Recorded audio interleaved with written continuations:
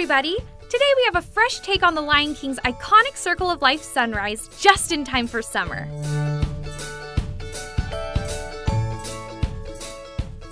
Start off with your favorite base coat. Tear a makeup sponge into small pieces. Use shades of red, orange, and yellow to create an ombre effect and make sure to sponge the colors on top of each other to blend.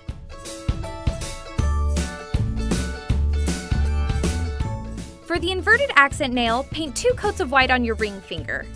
Once the base color is dry, randomly place striping tape exactly where you'd like the ombre colors to show through.